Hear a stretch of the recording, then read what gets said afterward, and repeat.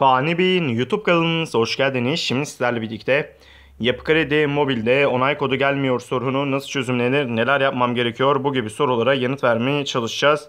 Siz değerli izleyicilerimizle birlikte. Yapı Kredi Mobil'de onay kodu gelmiyorsa aslında burada yapacağınız işlem oldukça basit. Yapı Kredi Mobil'de öncelikle e, onay kodun gelip gelmemesi için bir bloke var mı? Bu, bu bloke varsa tabii ki bu blokelerin kaldırılmasını sağlamanız gerekiyor. Mutlaka bloke kaldırma gibi işlemleri Yapı Kredi Mobil'de uyguluyorsunuz. E, akıllı SMS e, başvurusu yapabilirsiniz. Akıllı SMS başvurusu için güvenlik akıllı şifre bulunan akıllı SMS başvurusu yapabilir. Burada akıllı e, SMS'te herhangi bir kısıtlama bloke olup olmadığını kontrol etmelisiniz. Ardından zaten Yapı Kredi Mobil'deki onay kodu gelmeme sorundan kurtulabilirsiniz. Videomuz bu kadardı. Umarım videomuzu beğenmişsinizdir. Videoyu beğendiyseniz aşağıdan beğen butonuna kılmayı unutmayın. Kanalımıza abone değilseniz lütfen abone olun. Bir sonraki videomuzda görüşmek üzere. Hoşçakalın. Kendinize iyi bakın.